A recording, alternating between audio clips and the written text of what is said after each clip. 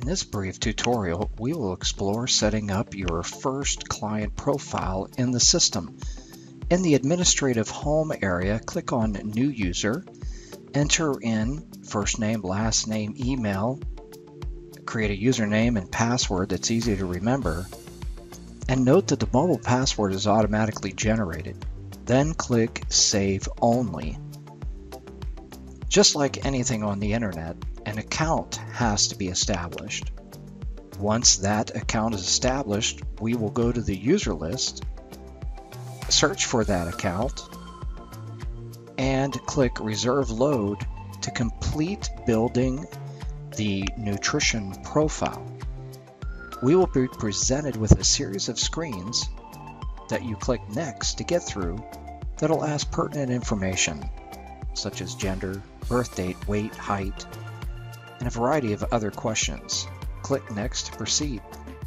The resting metabolic rate screen provides three options.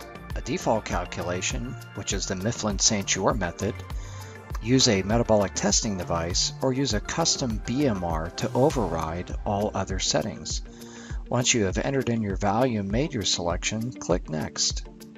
The exercise screen allows you to add additional calories on top of the resting needs for a caloric expenditure, but for best weight loss results, do not add any additional caloric expenditure calories. Select a body type, click Next. Select Professional Activity, then click Next. Select the weight control goals. Your options are weight loss, maintain, or gain. Select the rate of weight loss, and then select Next. Select a pre-built meal plan template from our collection of meal plans that include up to 5,000 days of meal planning, including popular diets like ketogenic, intermittent fasting, gluten-free, low carb, and many more, including chronic disease states and balanced macro plans. Make your selection and click Next. Identify any current or genetic history of medical conditions, then click Next. This will complete the profile setup process. Then click Print to print or email the meal plans. Highlight the days you would like to print, then click Preview Meal Planner Report.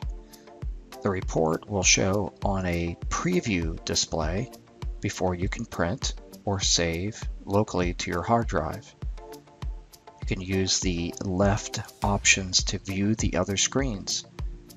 Follow the same process for the preview grocery list report. And don't forget, you can also email the meal plan and grocery list report as so desired.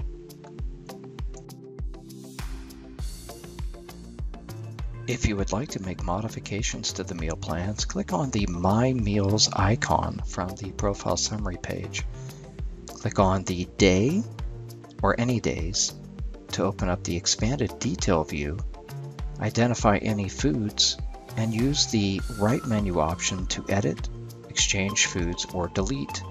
In this example, we're exchanging banana for an orange. Do the same for all other meal times. The system supports up to six meal times per day. Now that you've completed setting up the nutritional profile, let's go ahead and alert your customer that their profile and account is ready for viewing. Go to the administrative area and click on the user list. Find your customer and then click Set User Options. Here, you can enter in an optional expiration date to end client access, and once that's done, click Save and Email Info to User to send out the email message that will include their credentials to access their account. Please note that your customer's account has two login options. One to access an online internet account and then a mobile app login, which utilizes a different password that is used once only for activation.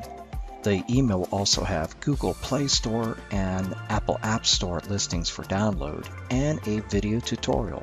If you need additional training, call our offices at the number below. Thanks for watching.